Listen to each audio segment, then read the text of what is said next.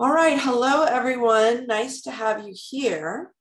I want to make sure that you can hear me. So if someone can either give me the thumbs up or just type in the chat box so I know you can hear. Okay, wonderful. And then hopefully you can see the screen where it says seven practice problems. And we have that as full screen. So um, if you need to minimize it on your screen and be able to take notes or something like that, feel free to go ahead and do that. But otherwise, we make it full screen. So hopefully you can see the details. So, um, oh, I see some people are saying where they're from. Lovely. Um, can someone also just let me know that you see the slides? Okay, great. Thank you. Um, and we're going to do a live Q&A at the end, which quite frankly is always my favorite part because you bring such great questions. So that would be wonderful.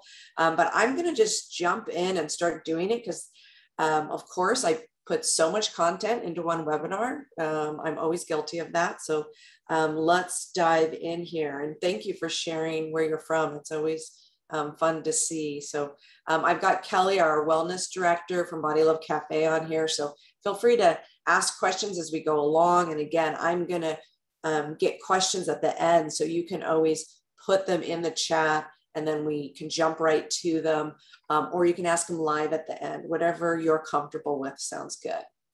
Okay, real quick, I'm just going to show you a disclaimer. It is an educational course. Um, I always do my best to make sure I'm sharing the most current relevant information but always make sure you check for your own license and um, check with your advisors and things like that. And again, I'm happy to answer questions.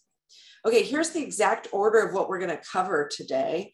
Um, I just wanted you to know. So, in case there was a section that didn't pertain to you, but one you really wanted to hear, it's coming. So, patients, personnel, paperwork, practitioner, protection, profit, and prevail. A lot to get through. Um, I'm going to very, very briefly um, introduce myself. I'm not trying to withhold anything. If you want to know more, I'm happy to answer it. I just always am so excited about the content. Um, but this, I tried to sort of shove a bit about me all on one page. Um, my health journey, people ask about that. I have the experience of having been the patient. I was um, very, very sick, uh, declared permanently disabled um, for years and I had seven specialists in my life, eight medications, and a medical treatment at the hospital that cost over 700,000 a year. And they said that would just be my life forever. So that's how I found functional medicine, probably similar to how a lot of you may have gotten into um, some of these, you know, wonderful um, protocols and modalities and this system of looking at the body as a whole. And so because of that, um, I was able to heal enough to come back into the world, start Body Love Cafe uh, as a tiny little place that um, very quickly um, expanded, in fact, twice in the same year to uh, 22 walls, multiple practitioners. Now we have a team of 14 and we can see patients in most states um, and some other countries um, and really a, a multidisciplinary practice we're unusual in the sense that we really stress training. So not only is there a lot of training involved, even for these wonderful professionals that come to us with so much knowledge to begin with, um, but then we have about four hours of ongoing training every week. So our clinic's a little bit different because of that. Um, as far as my professional background, I'm a fifth generation female entrepreneur. So I'm not sure I had a choice. And um, I've uh, had many businesses. I've helped people with many businesses. In my previous career, I had a client list of 20,000 and taught um, highly effective and ethical branding, marketing, sales, speaking. I created a, um, you can see a picture of it there, a personality profiling system with uh, that was published by McGraw Hill out of New York. I'm going to actually give you a free version of that that's specific to patients and practitioners and how to communicate. Um, and then I train practitioners really not in competition with any other organizations. Like I'm IFM certified. I love IFM, highly recommend it. Um, my course is very practical. Um, and the only reason I even do it is I saw too many friends and colleagues, you know, get out of school, whether it was medical school or um, osteopathy, chiropractic, um, IFM, whatever, and they just didn't know how to like make it in business and succeed. So the, they're very practical, clinical, and practice um, classes that you can, you know, get going and, and have the practice you like. Okay, that's my short version. Any other questions, just ask me later. And then let's dive in. Okay, so patients, personnel, paperwork, practitioner, protection, profit, and prevail. Seven things. So let's do it. Um, all right, so the first one, patients. Um, now, we're not talking about the clinical stuff today because we could get into that. Um, and I have many free trainings I'm happy to share that um, talk about some of the clinical issues. And I don't mind answering questions at the end. But right now, we're talking about the business of having a practice. So, um, the first thing is, first of all, you need patience, right? And especially when I'm working, like I've worked with um, you know, emergency room doctors, um, obstetricians, radiologists, um, internist, uh, pharmacist, psychotherapist, uh, psychiatrist, all these people that may have been in a hospital setting and then they switch gears and they want to do this functional medicine thing and all of a sudden they're a business owner and ah what does that mean? Well it means a lot and one of the things is that you have to have patience or there's no business. So how do you attract patients in an ethical way? Um, I'm actually, I put the link there and, and maybe Kelly could put it into chat, but um, I'm teaching a class for Designs for Health, which is a supplement company. And I think it's actually next week. It's a free class, but I'm going into, it's literally like everything you would do marketing uh, in 2022 to get patients. So you're welcome to attend if you want. Um, but I'm going to sort of just cover one idea right now that works very well, which is you know teaching classes to the public and potential patients and you don't have to be salesy you don't even have to make an offer or anything like that because i know there's some people out there in fact i even have some colleagues down the street that you know they're like really aggressive sales tactics and i don't think that makes anyone feel good you don't have to do that uh, we're very low key about that and um, practice can just build naturally year after year uh, being that way. So if you like sales calls, I can teach you a good way to do it.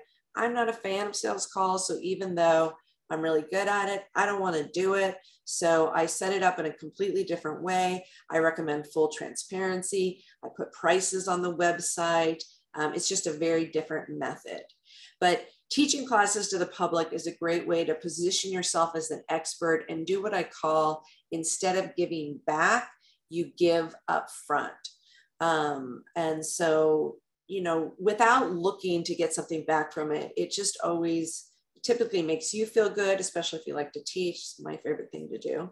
Um, but also, things just naturally come from it over time. So, and if you're going to teach a thyroid class, you're going to get all of a sudden a new rush of thyroid patients. If you're going to teach about um, uh, heart health, you're going to get a, a rush of uh, cardiac patients. You know, that's just how it works. Um, leveraging your existing patient relationships to increase referrals. Now, if you have some type of physician license, you cannot do any type of financial compensation um, for referrals. Um, if you don't, it might be possible. Um, otherwise, there's just a lot you can do as far as just, you know, asking for referrals or sharing what you do or asking about how other family members are doing. Sometimes you might have a patient come in and like, let's say it's ADHD or depression, you know, those are conditions that are very much a family condition because even if no one else was um, sick or injured, they impact the whole family. So, really, you just have a whole family of patients that you need to work with in those situations. Um, sometimes offering family plans can be helpful. And we'll talk a little bit about the structure, um, the various structures of your practice. But sometimes um, there's a way, if you have a cash practice or whatnot, to create a family plan. Um, again, no referral gifts. Sometimes you can do a raffle, but check with your legal advisors because depending on your license, you can be sort of like skating a gray line there. Um, so if you do do something like that, it has to be available to everyone. There, there really has to be no requirements for it. Um, so some certain rules that are that are important. Um, and then also there can be patient problems. So we're not doing the clinical part right now, but just patient problems as far as, um, you know, compliance can be an issue. Because when you're talking about functional medicine, we're talking about a partnership. We're talking about a lot of um, responsibility on the patient's part. You know, we're not doing stuff to them as much as we're doing stuff with them. So, um, you know, the role of coaching is invaluable in functional medicine. So, you're probably doing that in your practice, or maybe you've hired coaches. We can talk a little bit about that in the staffing section. Um, and then handling conflict. So that's why I gave you that freebie resource. Um, it's not as detailed as the book, but that's fine. There's really plenty in there. So I'm not saying, oh, go buy the book at all. Just get the free resource. And there's a section in there that um, is practitioner to patient and talks about each sort of personality type and how they handle conflict. If you really read that, I think you'll find it very, very helpful um, for how to deal with your patients when they don't get the results they want, or they got upset or grumpy about something, they couldn't get in when they wanted, or someone accidentally sent them an invoice twice. You know how people are when they don't feel good, right? Um, so that will really help you, just like how we do individual medicine, we need to do individual communication with people. And there's a little bonus section in there um, about staffing, because even the people you hire are going to have different skills and different personalities, and you want to put them in a position where they're going to succeed. Okay, so there's just some of the business part of patients, and Kelly shared two links. Uh, if you have questions about those, um, let her know. This is what it looks like, by the way. I didn't put all the pages in because it's a screen, right? I only have so much space. Um, but the character codes at a glance on the left, it's going to tell you about all six of them you know how they move how they think what they're concerned about. There's a quiz if you want it. Great. You don't need to ask your patients to take it. Quite honestly i'm going to give you enough information that whether you're seeing them you're doing video or you're talking on the phone you're going to know who they are right away. And then there's that practitioner to patient secrets. Um, even some stealth what i call stealth techniques for when there's a conflict how to diffuse the situation. Okay so please i hope that's of benefit for you Okay, number two, personnel. All right, this is your team. Now, if you're brand new and you're just getting started, you might be doing everything. You know, you walk in, you're the clinician, you walk out, you have to be the front desk, you have to schedule appointments, you have to, you know, make collections, and you know, that's fine to start. And and some people that's all they do, and that's okay. But most of the time, even if it's just one assistant, that can really uh, make things so much smoother for you. So the first thing is recognizing when you need help. And especially if you're getting to the point where you're feeling like overwhelmed. Um, and if there's any resentment or anxiety or reluctance to go to work, that is a sign that you don't have systems in place that are really helping you. And you might just not have enough help that you can count on because a good team just, you know, keeps you going. It makes you feel sane. It's essential. If you want to do your best work, as a doctor or a healthcare practitioner, you need a good team. So if it's your first time hiring someone or you need to hire someone new, the big issue is going to be the budget for it. And I know every time I've hired someone, it was always sort of like a little bit scary. Because first of all, I, I do my best to run a debt-free um, practice, and that's one of my specialties is te- teaching people how to um, create a good practice without debt. Um, so every time I was hiring someone, it was sort of this like leap of faith. Um, and the leap of faith, it wasn't just in the individual, because I'll talk a bit about how you hire them, but the leap of faith was, oh, I need to go and spend this money, and I'm just going to have a leap of faith that that increase is going to come in naturally. Here's what I'm going to do to build it, but I'm going to trust in the growth process. And really, it's worked every time. Um, so for hiring, for the most part, we hire pretty slow.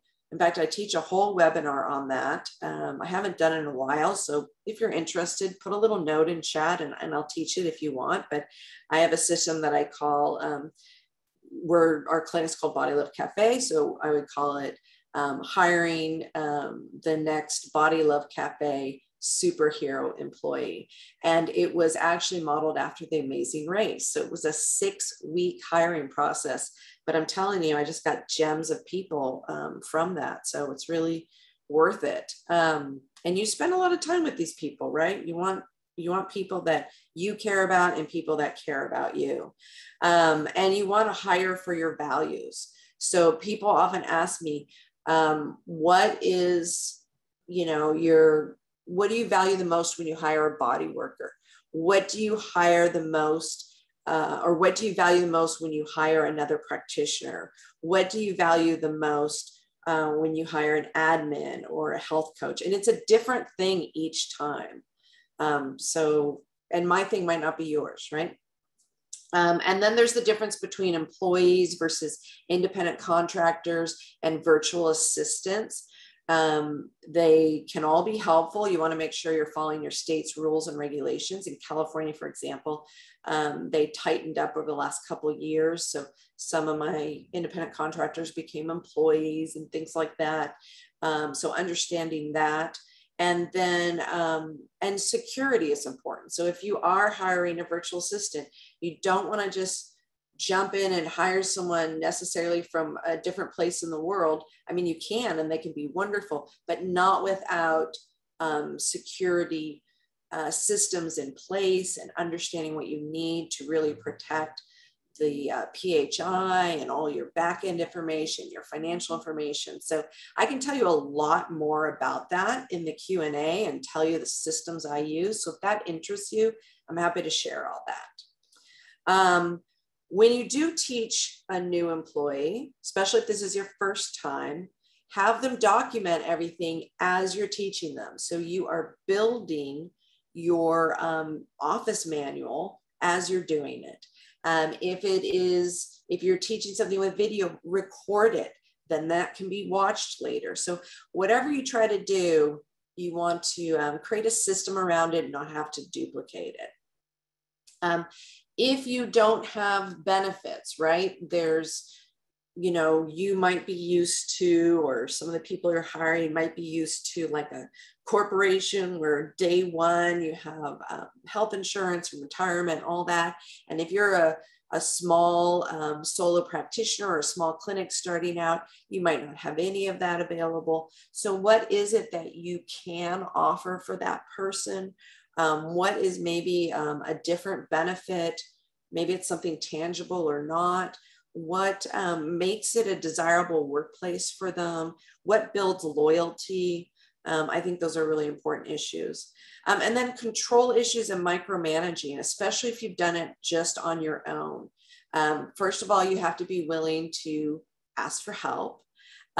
You have to um, ideally not micromanage and they might need more help in the beginning but you're going to have to let go of the reins of that or you won't get the help that you need which means that person isn't you they're never going to do it exactly the way you want you can get it pretty darn close um, but otherwise you're going to have to say what what is good enough right um, and then also giving your team um, the ability to grow and bring ideas to you and invent things themselves.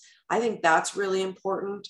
And if you look at what people value um, in a workplace, um, I've, you know, when I, I read research on this, so a part of it is, you know, it's not just benefits and income, but part of it is being respected as a human being, having like um, being able to contribute their ideas, um, feeling like they're involved in something that's bigger than just themselves. So um, if you can bring that into your workplace, I think that's really helpful. And then also showing gratitude in some way or another, whether it's um, financial um, increase, whether it's some other type of bonus, whether it's a fun day or a gift or something. Um, but just remember people first, right? Okay, let's talk about paperwork. So most people don't like paperwork, um, but you know, it's just part of the name of the game. Every business has it, and healthcare has it a lot. So systems are really essential to not go crazy. Um, are you paper versus electronic files? We were a pretty heavy paper clinic on purpose and then sort of saw the writing on the wall the last year and a half and went virtual before most people did. It was a lot of work to change and I really looked into what systems I thought were the best to use and then we put in that work. Now I help clients do it in much faster time. Um, but uh, no matter what you use, of course, HIPAA is going to be very important. Um, knowing how to prep in advance. So whether you have paper files or electronic files, how do you pre uh, prep for those patient visits? And one of the things I'm always trying to teach my practitioners, you know, for sanity's sake, I like them to block you know they have full control over their schedule and autonomy right but I, I try to encourage them to block certain times for their patient time and other times for dealing with paperwork or admin or marketing or having a life and being done. Um, but for let's say Thursday, today's Wednesday, right? So let's say Thursday was the day and I was going to see a bunch of patients then. My goal would be about 90 minutes for doing the prep for tomorrow, and then I'm done. And then I'm charting uh, in my EMR while I do the visits, I'm sending after visit summary immediately after the visit, and then I'm done. And that's very doable. That's how I do it. That's how I teach a lot of other people to do it. But you have to have systems in place and you have to have a good team to make that happen. Um, you want to automate everything you can. So it's a little bit of time to set that up front, but then it's time saved later. Um, HIPAA compliance, I'm going to talk more about that um, in a second here. Um, and I already mentioned the, the percentage of time for charting. And then if you're a solo practitioner versus running a clinic, just understand that, um, you know, if you're a solo practitioner, you're going to have a certain amount of time handling your own phone calls and emails and things like that. Um, otherwise, you can sort of predict it. If you're a multidisciplinary clinic, you're going to have a lot more admin time, a lot more paperwork, a lot more hand holding and coaching and dealing with fires. So just make sure um, you think that through because everyone in their mind tends to think you know when i was a patient and i found functional medicine i had to use different practitioners very common and so if i want to give the best care for my patients i want all those practitioners in my office so it's very normal for people to think and feel that way but they don't realize what it's like running that type of clinic so make sure you like that I really like helping others. So for me, it works, even though all that admin and paperwork is a pain. I just like working with others. So for me, it's good. But if you really don't like all that admin, then having a smaller clinic or a solo practice will make more sense for you. Okay, number four, practitioner. Um, this is this is all about you, right? So first of all, um, crazy go mode very common if you're starting, anytime you start any business, it's work, right? It just takes time and effort to build it. But that go mode can only last so long.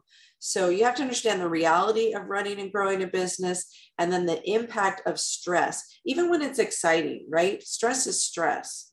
So whether it's stress from fear and terror or it's stress from this is so exciting and I love functional medicine and having my practice and this is wonderful and I'm working insane hours, stress is stress. So um, you can't stay in that state forever without, you know, paying a price for it.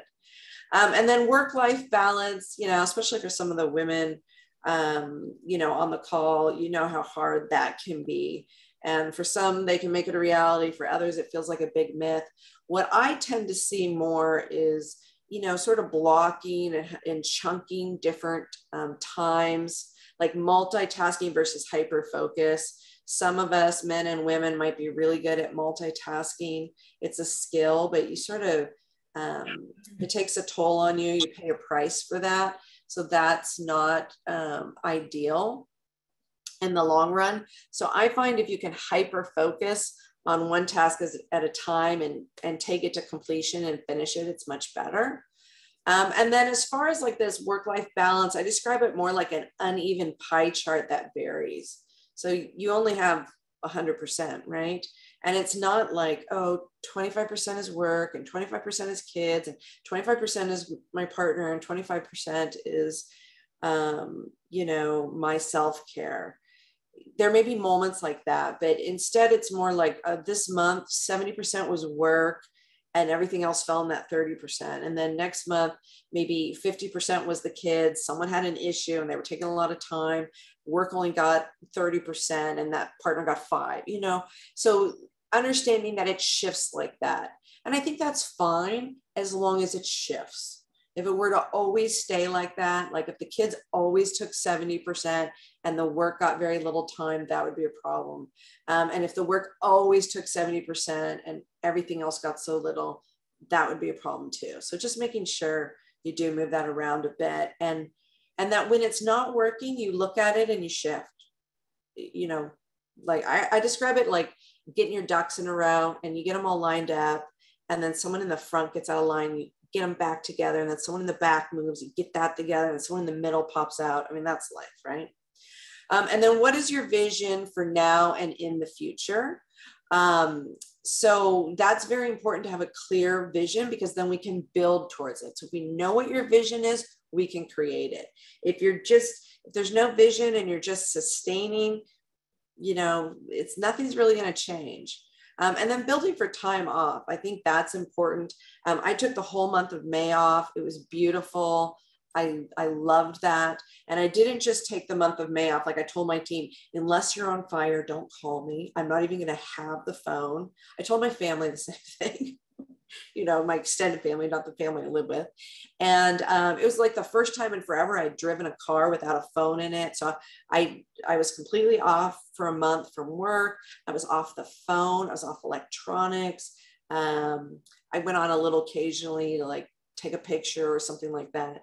But um, otherwise, I put it all away. I was off social media everyone said, Oh, you're going to lose your mind. I said, I don't think so. It actually took me, even though I'd gone back to work, it took me two and a half months to go back on social media. I, thought, I don't want to go back on. This is great.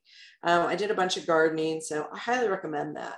And it's only with systems can you build something like that. So I will be taking at least one month off a year, if not two, if I can do it um, from now on. I just think it's so essential. All right, let's talk protection. Um, I'm not an attorney, right? This is educational, so make sure you do uh, consult with your advisors. Um, but this is sort of like the basics to advance. So first of all, legal entity. Some of you might start as a sole proprietor, perfectly fine. You might become a corporation later, or you might be a corporation right to start with. There's pros and cons, understanding that. Um, of course, you need your malpractice insurance. You need to understand um, when you hire people or other things you might need contracts for. Um, do you need a business license, a permit, a DBA, a bank account for your business? Are you doing telehealth telemedicine? Um, some of those things are, are really important. Um, one thing about insurance, I sort of mentioned this at the end, so I'm going to come back and pick up HIPAA here. But um, some of the things you do in functional medicine, they might be a little bit beyond your typical malpractice insurance, depending on your license. So if that's the case, you can pick up an extra insurance. In fact, I can share with you, I think I have an affiliate code somewhere that will get you a link, but I have an extra insurance that I use besides my malpractice, and it covers, um, you know, different activities. If you teach a lot, you might want teaching covered or body work or being an herbalist or doing yoga or nutrition counseling, um, acupuncture, cupping. I mean, it's really sort of broad and quite affordable. Now, if you have more than one insurance, they will not both cover the same incident. So if there's some incident and your malpractice insurance covers it, you don't use the other one. But if it was, for example, um, I don't know, you're acting in the capacity of something outside of your regular insurance, then you'd have that extra one to pick it up. Uh, which also brings me to like, where do you practice? Um, you know, things loosened up quite a bit over the last year and a half, and um, telehealth was more broad. Um, I use alternative balance. Um, so I'm happy to send you that information if you want. I have a pretty cool handout on it um, and I have that link, but they should have a website that you could just go check them out too. Um, and Kelly, I think you have that link actually from our last team meeting. So if you want, you can post it. Um, okay, so things loosened up for uh, telehealth, which was nice, but I always like to be ahead of the game. So in our office, we actually really tightened up, sort of the opposite of what other people are doing, because I envision where it's going to go next. So, what we're doing, um, which really is the most legal way you can be, I know there's a lot of other coaches out there that teach differently and they just say, well, how much risk are you willing to handle? And maybe you're willing to handle some risk for yourself. But when I have a multidisciplinary practice, I like to have zero risk because I have other people involved and I always want to take good care of them. So, really, the best thing you can do is not practice anywhere except for where you're licensed. And um, and you can't take that hat off. So if you have a professional license and you're a medical doctor or a chiropractor or a naturopath or a psychologist, um, you can't say, well, I'm going to, I do health coaching too. So I'm going to be um, a chiropractor in California and a health coach in New York, uh, especially if you're ordering labs and going over it. So the best way to do it is just to use someone who's licensed in that state if you have a practitioner who can order labs or don't see people in that state. Um, there's probably plenty of people in your own state just to serve. And so what we do is we just list the states that we have someone licensed for. And if it's a state like uh, Minnesota and we only have one person licensed for it, then they get to see that person. If it's California and we have 10 people licensed for it, we just match them up with their best person or whoever they want. So um, that's what I recommend. Okay, let's talk briefly about HIPAA compliance. Now, you know, HIPAA is really, you know, it's really built and designed for these hospital settings and it can be challenging and expensive to the solo practitioner, but we still have to follow all those rules. So it's not just um, giving that HIPAA policy form to the patient on day one to sign, either in person or electronically. Um, you need to have a HIPAA binder. You need to have a HIPAA officer. Even if it's you, if you're if it's just you, guess what? You get to have a meeting with yourself as the HIPAA officer and train yourself. Um, that's just the way it works. But as soon as you have one more person working with you, then you definitely really need to step this up. Um, you have to have six um, meeting audits a year. Um, so our HIPAA officer and myself, every two months, we just go through, we take notes for the binder, and we just look at all of our systems and make sure everything's working. Does there anything need to change?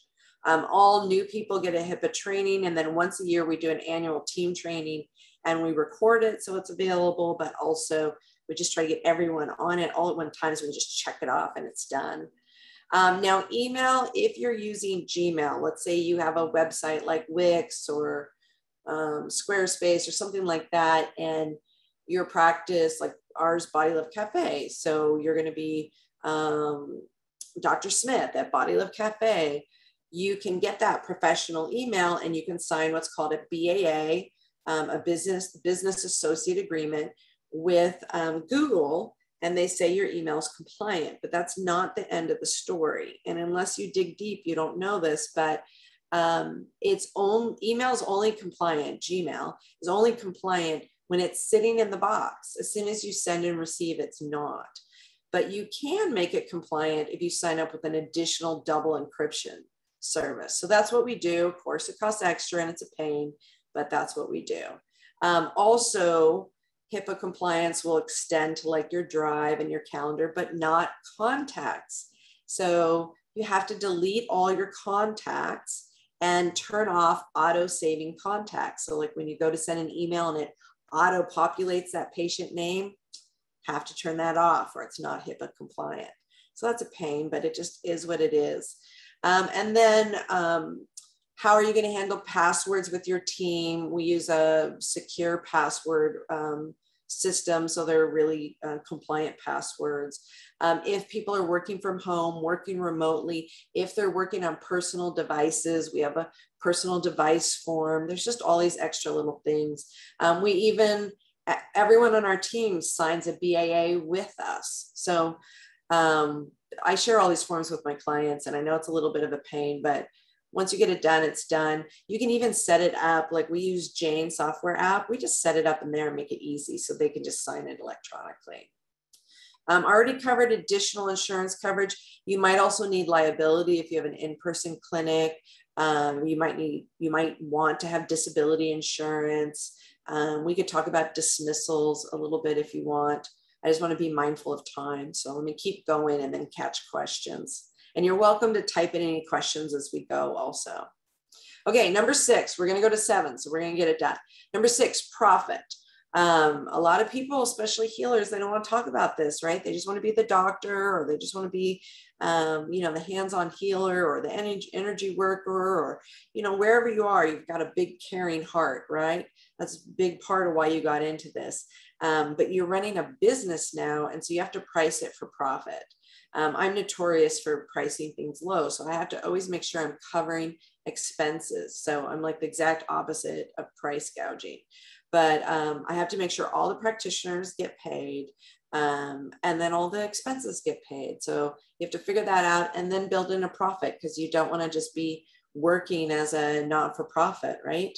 Um, there's got to be something growing for all this work that you're going to put into it. So, how to price, there's a lot of different ways to do it. I'm a big fan of a supply and demand method. So, that's what I've used, and I can answer some questions about that.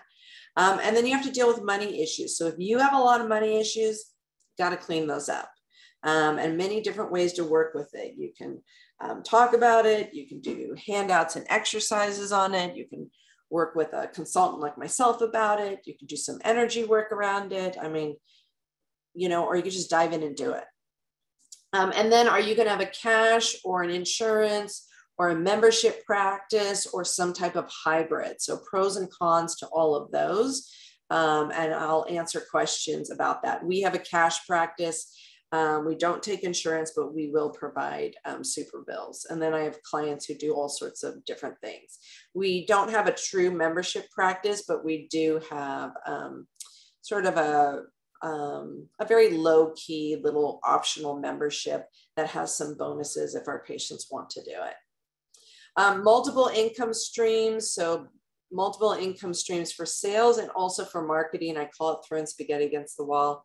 You know, if things change, um, you don't want all your eggs in one basket. So being able to have different income streams is important. Um, and I think this is really important practice. And also because like as a human being, I don't want to be treated this way. I want things that are really ethical. I want to avoid conflict. Um, so no referral fees, no MLMs, no bait and switch, no aggressive sales calls. That's just like how, that's how I like to practice. Um, and then big versus small, there's not one way that's right. Um, and it's also not even like what you make. So a lot of times when we talk about how much did the office gross, okay, fine, it gives you an idea of activity, but it's what you keep. So someone could have a really small practice and have a much higher percentage of income than someone who has a very big, impressive looking practice, but it's a smaller percentage. And these different practices have a really different expense ratio. So I personally could make a lot more money just practicing by myself and have a lot more time off. Um, and I know I could do that at any time. For some crazy reason, I like working with a lot of people and I like helping them. It's a lot more work and the income uh, ratio is a lot smaller, but I enjoy it. So I do it. So you have to make sure if you're going to do something like that, you actually want that and you like that. Um, otherwise, yeah, you can have a small practice, tons of times, off, tons of time off, very low overhead, and and be very happy, and then everything in between. Okay, number seven, prevail. This is going the distance and avoiding burnout. Now, if you're in the beginning, and you're thinking, well, how could I burn out? This is amazing. I love it. Trust me, it can happen, especially if you're an overgiving person. So you have to watch like lack of boundaries and not having time to like ground yourself and disconnect from the people in your day. If you're a highly sensitive person like I am, you have to understand it's going to take more time to disconnect. So, quite frankly, I need a lot of downtime. Even if I'm doing work during that time, I need a lot of time where I'm not actually talking to people. And I love people, but it's just how I refuel. So, understanding the way you are. Some people refuel and they have to like be in a social setting, right? Um, they feel better if they go to a concert and it's crazy. So just setting it up so it works for you and giving yourself permission to switch gears if it's not working. Um, where are you going? That's sort of what we mentioned earlier. Where are you? Are you like at the start of practice, in the middle, or at mastery? What's your end goal? Um, do you want to just do one thing? Nothing wrong with that. Um, or do you want to do two or three things? You might want to do more because you have ADHD and you get bored if you don't do a lot of things.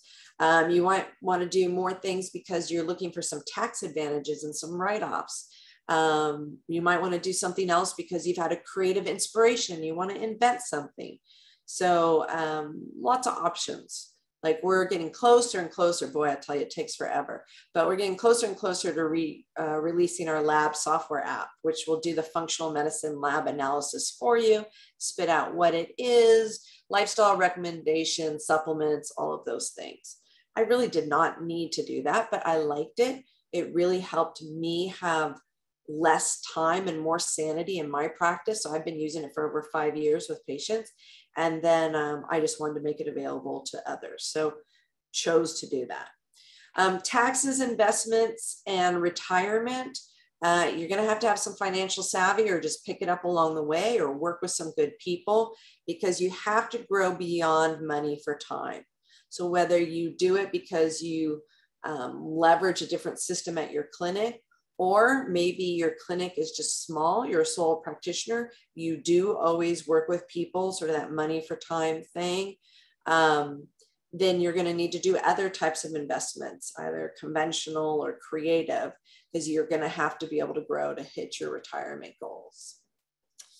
Okay, I'm going to take questions here in a minute. I just wanted to share like some other options for support. I have tons of free recordings. I'm always happy um, to share. And if um, if you want it, you could shoot over um, an email. Just send it to team at thefunctionalmedicineacademy.com. So team at thefunctionalmedicineacademy.com. Um, and I have a handout with a bunch of uh, resources and recording. I could just give that to you. Um, some are practice based, but a lot of them are very clinical, like Dutch training and SIBO training, coaching Q and A, those types of things. I do do individual coaching and consulting. I only work with a small amount of um, clients, so I tend to do groups more, but I do have some people that I help one on one. And then I do Functional Medicine Academy, which we're about to start our live classes again. So I'll just show you that briefly and then take some Q and A. So um, this is the link if you want to see it, tinyurl.com FMA class. You could take whatever class interests you, or you could take all of them. These are the classes. So it's just seven classes. Like I said, it's very tight program, very practical, very get in action. They're all like a day, a Saturday um, where I just bust through everything with you. It's about four to six hours of content, so we go pretty deep.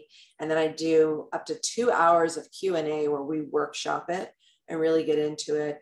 And then um, once we do these live dates that are upcoming, um, if Kelly, if you have them, you can put the live dates in there. Otherwise, I can show them to you another time. Um, the first one is November 20th, so pretty soon, 10 days from now. Um, if you can't make it to the live one, you just watch the recording. There's quite a lot of notes, quite a lot of handouts. So FMA one is all about um, your exam, your intake forms, your database, communicating with patients, um, the report of findings, um, talking to the patient, all of that. And then the rest are clinical, really get in deep. And then FMA six, that's the only other one that's not clinical. Um, that's all about marketing. And that is a very, um, very thorough class. Whether you're beginning or advanced, I guarantee there's going to be something in there for you. That one's on December 4th, by the way. So all the other um, clinical ones are going to be January, February, March. And then if you want a certification, you don't have to do it, but if you want it, wonderful you do um, a certification test, a case review, and then you'll be a certified practitioner. Okay, I want to be able to answer questions for you. So if there's anything that's come up or you have something, you know, just live you want to ask, feel free to unmute yourself. Um, and if I answered everything, then great. But usually there's some question uh, that comes up along the way or something that maybe I didn't get through in as much detail as you were hoping for. And Kelly, if you have any questions, you can throw those at me also. Can people unmute themselves or do we have to do it for them? Yes, they can unmute themselves. Okay, great. So any questions about any of the topics we covered or anything else? There was a question. We're going to email this out to everyone. Okay, let me see. What's the question? Just asking if we could email this out when we were done. Oh, oh yes, absolutely. Um, and overwhelmed with the protection category. Yeah, let's yeah. let's talk about that a little bit. Um, and where to begin for solo practice. Um, first of all, anything that's you know big and crazy, you just start with piece by piece. So I often um, when I'm and I cover this in FMA one, by the way, in a lot of detail, like how do you literally start? Like, what's the first thing you do? What are the things you have to have on your website? So, um, without having you know all those notes to give you let me just tell you sort of some basics one you want to have a practice name and we can have a conversation over do you name it around yourself or do you name it as something else and the pros and cons of that. Sometimes it has to do with um, do you want to sell this practice later or do you um, do you want to um, do you want to be out there talking and you see your name or do you want to be talking more about an entity? Like maybe in the beginning using that royal we and then you're going to expand and other and bring other people in so part of it is sort of your vision if you will um, but you need a practice name and then if you're a sole proprietor you know you can sort of just hang a shingle out the door and start that way um, you can use your social security number, but I recommend just contacting the IRS and applying for an EIN number. And that way you don't have to give out your social security number. You're still a sole proprietor. And you would just use that EIN. You only ever get one, by the way. So if you're the kind of person who has five sole proprietor businesses, use the same EIN. Um, so you only get one EIN as a sole proprietor. And then if you incorporate later, you will get a new EIN as the corporation. It's a separate uh, entity. And as a minimum, most corporations, you have to pay at least $800 a year um, in corporate tax. But um, depending on whether you do like a you know, S corp pass through entity or not.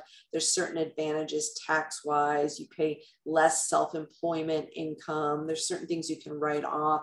There's another layer of legal um, uh, protection as far as um, um, as having a little separation. So uh, so anyway, let's just say simple. You're starting as a sole proprietor. That's fine. You need to have um, policies in place that you're going to have your patient sign. What are your basic office policies that you start with? And I give out handouts and examples of those because there's a few that I think are really important to have covered. And you do need to have give out that HIPAA privacy notice, um, and you need to give out some form of informed consent. So that's sort of the bare minimum to begin. You'll want a bank account. You need to be able to accept payment. You need either a place of business where you rent a little space or you're seeing patients virtually. And then, as far as a website, um, when you have a website, you do need to have things like terms of use and privacy policy on there. So, I, I go through all that, but that's like the bare minimum to begin. And then we just start adding layers, and that's fine. Here's one more form you need. Let's bring that in. Once it's in, it's in, and, and it's easy and it's done for. Um, but you don't you don't have to do everything at once. Um, how do we structure pricing for patients? And how long is your practitioner training and the cost? Can you give some details? How often you meet? Yes. So that that link I shared there's two that there's two things that will show you all about it. Um, the the functional medicine academy.com website, if you can put that in, that tells you a lot about it, including the pricing.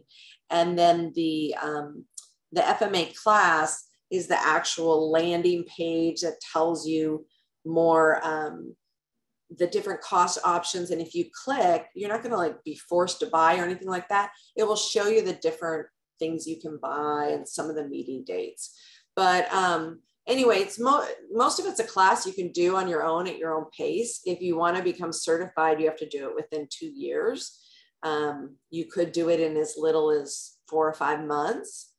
Um, otherwise, we've got live recordings starting November 20th and going into March. So we're doing a live recording for each one. It's all day Saturday, but if you can't make it, no big deal. You just watch it as, as a video. And we divide, we edit the video into little sound bites. So it's not like you have to sit there and be held hostage for a whole day. You can just watch a, you know, piece by piece. And then um, if you want to become certified, you can do the test online um, and do the case review. So it's to make sure you know what you're doing and you're competent, but it's not to like torture you and have it be crazy, challenging, and awful. The test is 10 questions from each of the courses. So it's a 70, um, it's a 70 question test. And if you watch them, you're going to get it. Um, and then for those who do the, you can just take one class, no biggie. For those who do, um, who do the whole thing, then we have um, group Q and A's.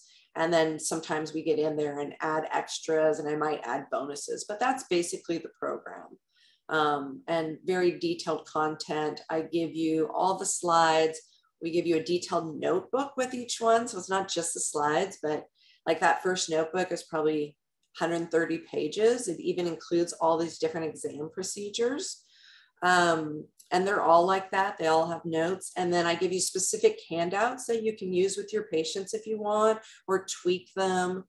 Um, it might be an intake form. Like it took us years to build the perfect intake form. I give you that, that kind of stuff. Um, so ask me other questions if you need to, but hopefully I'm getting close to answering that. Um, structuring pricing. So for myself, I like to do, um, you know, supply and demand. So in the beginning, when I started day one, plenty of supply, very little demand, right? I think I had three visits my first day. Um, so it was very reasonably priced. And then here were my set hours I was going to see patients. And as that, um, you know, got bigger, uh, this is that link, by the way. Yeah, right there, FMA class. Um, I knew I had it somewhere. Um, as my schedule filled up, I would then increase the price. So then maybe there were a few people who couldn't come as often. Um, so maybe the schedule would open up a little bit because I had a price increase and then it would fill back up again. And then I'd increase the price again. So that's how I like to structure it. Now I have some clients I work with and they want a boutique practice. They want a like more concierge service. They want it high end and that's perfectly fine. But we have to set up the website and the services and their availability and their marketing. And yes, they're gonna have to do sales calls in a very different way. So anything's possible. I'm just sharing what I personally like, but you can create it any way you want. And truly, you have to know that and understand that. Some people would rather grow slowly and have a higher price. That's fine. And others, they'd rather have a lower price, grow really fast and be in it, especially those who are new, because there's nothing that's a better teacher than just being in it and doing it. So if they want, you know, a full schedule, then pricing more reasonably that people can get in and fill up is a good way to start. And then you increase your price. I can tell you though that I increased my price twice um, during uh, uh, 2020. so, you know, no one else was doing that, but I did it twice. Um, okay, so let's see. What else? Um, what do I use for malpractice insurance for DC license? I use NCMIC. Uh, there's many out there, but um, that's a big one and they've been around for a long time. So I use them and they have corporate insurance. And then I also use alternative balance and I have liability insurance. So, you know, lots of insurance. Um, the goal, of course, is always to just have people happy and not need it. That's the nature of insurance, but you want it in case you need it. Um, where can you learn or get assistance with telehealth regulations so we can be in a compliance across state lines? That's a great question. Um, I've used three different attorneys, and attorneys can be really expensive. So I just help my clients a lot and keep it affordable. Um, probably my favorite attorney uh, to work with um, would be the functional lawyer. Um, so that's an option, and I can um, give you a referral I might have a link where you can get a little savings. I don't know. I have to look, but um, I might have a resource for that. So email you, email me if you want it. Um, so Scott, he's a good guy, very helpful, and his wife's a DO, so he's not just being a lawyer doing this, but it's like right in his family. He gets it.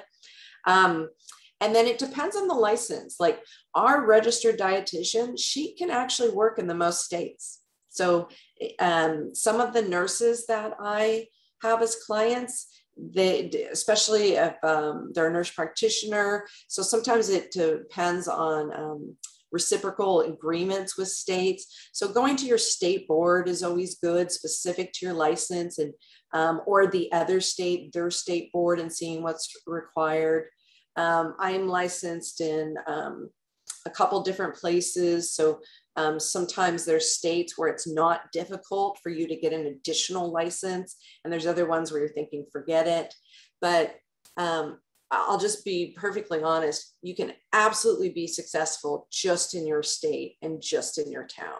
So don't feel like you have to see everyone everywhere. It's it's really not necessary. If you want to do it, you can.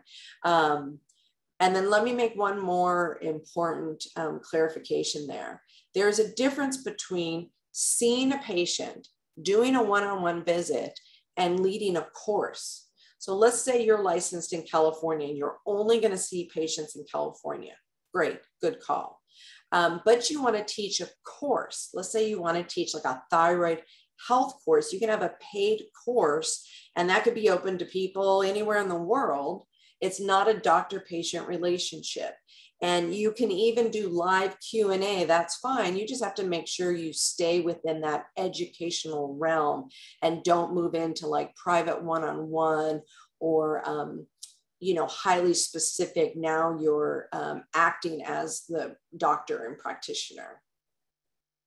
Okay let's see this is a good question how do you keep your oldest clients at original prices when oh do i keep oldest clients at original prices when you increase um, there's times that I have done that.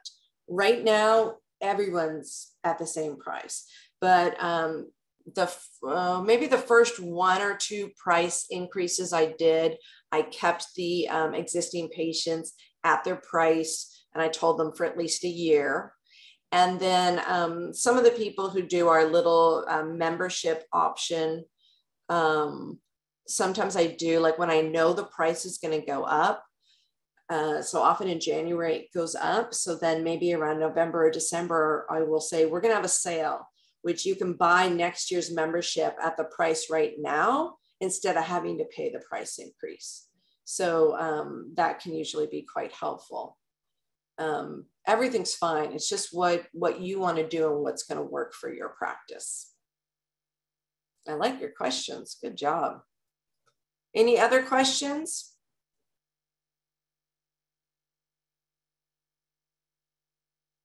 Okay, I think we did it. Not bad. What are we doing on time? Oh my gosh, perfect. I love it.